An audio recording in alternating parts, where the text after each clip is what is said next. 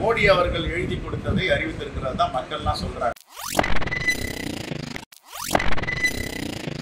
ஒன்றாம் கட்ட தேர்தல் முதல் கட்ட தேர்தல் நடக்கிற தமிழ்நாட்டுக்கு ஐந்து முறைக்கு மேல ஒரு இருபது நாள்ல வந்துட்டு போறாரு. இவர்கள் எழுதி கொடுத்ததை தேர்தல் ஆணையம் படிக்கிறதோ என்ற சந்தேகம் எல்லோருக்கும் இருக்கிறது.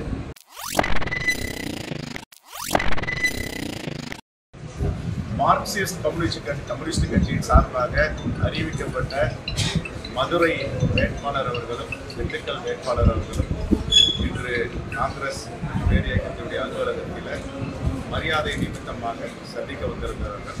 அவர்களுக்கு வாழ்த்து கூறியிருக்கிறோம். எங்களுடைய இரண்டு வேட்பாளரும் வெற்றி வேட்பாளர். காங்கிரஸ் பேரியக்க வேட்பாளர்களுக்கு எப்படி பணியாற்றுகிறோமோ அதே போன்று மார்க்சிஸ்ட் கம்யூனிஸ்ட் கட்சி தோழமை கட்சியான அவர்களுக்கும் காங்கிரஸ் பேர் தோழர்கள் பணியாற்றுவார்கள். இரண்டு பேரும் பெருவாரியான வாக்கு வித்தியாசத்தில் இன்னும் சொல்ல போனால் மதுரையும் திண்டுக்கல்லும் ஒரு பிரமாதமான முக்கியமான தோழர்களை வேட்பாளராக அறிவித்திருக்கிறார்கள். கடந்த ஐந்தாண்டுகளாக தமிழ்நாட்டின் குரலாக தமிழ் மொழியின் சிறப்புகளை எல்லாம் உரையாற்றியவர் நம்முடைய தோழர் சு வெங்கடேசன் அவர்கள். அதே போன்ற திண்டுக்கல் வேட்பாளரும் தமிழ்நாட்டு நலனுக்காக அவர் குரல் கொடுப்பார். ஆகவே அவர்கள் வெற்றி பெறுவது உறுதி. சாதாரண வெற்றி இல்லை. பெருவாரியான ஐந்து லட்சம் வாக்குகள் வித்தியாசத்தில் வெற்றி பெற போகிறார்கள். அவர்களுக்கு எங்களுடைய காங்கிரஸ் பேர் இயக்கத்துடைய வாழ்த்துக்களை தெரிவித்துக்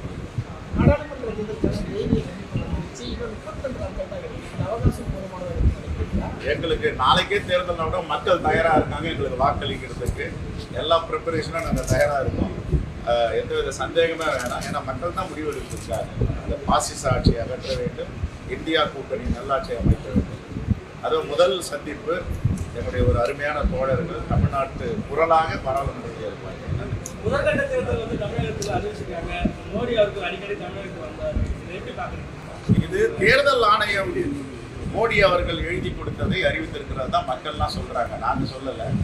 ஏன்னா ஏழாவது கட்ட தேர்தல் ஆறாவது கட்ட தேர்தல் நடக்கிற இடத்துக்குலாம் நரேந்திர மோடி எங்கேயுமே போல ஒன்றாம் கட்ட தேர்தல் முதல் கட்ட தேர்தல் நடக்கிற தமிழ்நாட்டுக்கு ஐந்து முறைக்கு மேலே ஒரு இருபது நாளில் வந்துட்டு போகிறார் அப்பன்னா அவருக்கு தெரிஞ்சு போச்சு தான் முதல் கட்டம். அதனால நம்ம தேர்தல் பிரச்சாரத்தை இங்கே முடிச்சுக்கலாம் அப்படின்ட்டு நேற்று கூட கன்னியாகுமரி வந்திருக்காரு. இதுலேருந்து என்ன தெரியுதுன்னா இவர்கள் எழுதி கொடுத்ததை தேர்தல் ஆணையம் படிக்கிறதோ என்ற சந்தேகம் எல்லோருக்கும் இருக்கிறது. நேர்மையான முறையில் கண்ணியமாக அரசியலமைப்பு சட்டத்திற்கு உட்பட்டு இந்த தேர்தலை நடத்த வேண்டும். தேர்தல் யாருக்கு வாக்களிக்கிறார்களோ ஜனநாயக நாட்டில் அந்த வேட்பாளருக்கு அந்த வாக்கு நேரடியாக செல்ல வேண்டும். மடைமாற்றம் செய்யக்கூடாது. நிறைய ஐயங்கள் இருக்கின்றன. அதை நாங்கள் எல்லாம் எதிர்கொள்வோம்.